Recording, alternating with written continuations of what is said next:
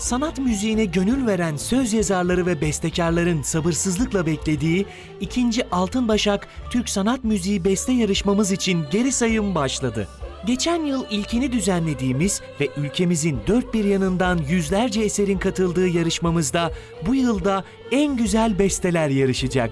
Yeni ve özgün eserlerin değerlendirileceği yarışmamıza besteciler en fazla 3 eserle katılabilecek.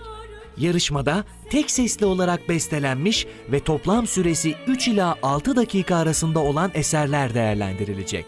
İkinci Altın Başak Türk Sanat Müziği Beste Yarışmamıza müracaatlar 15 Eylül Cuma saat 17'de sona erecek. Yarışmamıza katılacak eser sahiplerinin eserlerini Başakşehir Belediyesi Kültür ve Sosyal İşleri Müdürlüğümüze elden teslim etmesi ya da son başvuru tarihinde ulaşacak şekilde posta yoluyla göndermesi gerekiyor. Cengiz Han Sönmez, Göksel Baktagir, Hasan Esen ve Mahmut Oğul'dan oluşan ön jüri tarafından 24 Eylül'de yapılacak değerlendirmenin ardından finale kalan eserler 25 Eylül'de ilan edilecek.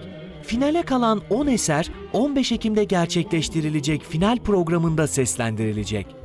Birinciye 50, ikinciye 30, üçüncüye 20 bin lira ödül verilecek yarışma sonunda jüri özel ödülü ve 6 mansiyon ödülü de sahiplerini bulacak.